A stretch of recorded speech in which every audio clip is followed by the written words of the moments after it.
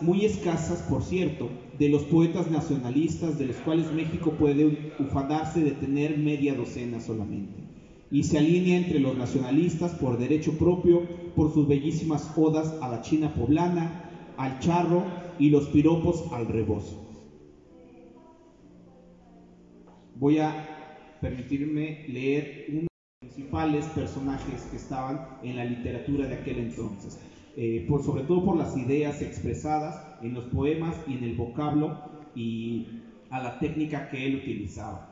en el año de 1918, él funda el seminario El Gladiador en el vecino estado de Tlaxcala y es por ello que también en ese estado se encuentran eh, varias escuelas que llevan su nombre, así también como aquí en, nuestro estado. Para el compilaciones internacionales como el libro de poetas iberoamericanos, Poetas del Mundo y Antología de Poetas Mexicanos. Eh, los títulos de los libros son Rumores del Aula, publicado en 1919, Las canciones de, de Humano Amor, publicada en 1923, Las estampas de mi tierra, y en su tierra natal fue colocada una placa conmemorativa en la casa donde él nació. Esta placa se colocó en el año de 1958 y uno de los más grandes eh, reconocimientos que se le ¿no? eh, y, publica a los más representativos eh, creadores literarios y, poéticos del país. Estaba muy bien relacionado. Y otro, otro periódico en el que sí le entra más al tema social y a la política.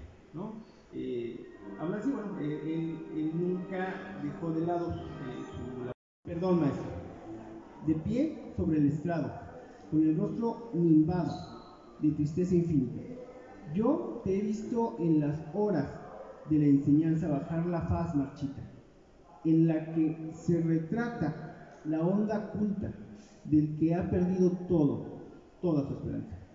Yo te he visto ese rictus desolado, del que he trabajado en inútil tarea, cuando la incomprensión de los oyentes o la ignorancia de los que examinan te dan como presea la corona de estrellas.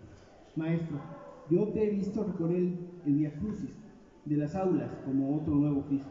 Maestro, en los desiertos del pasado, por los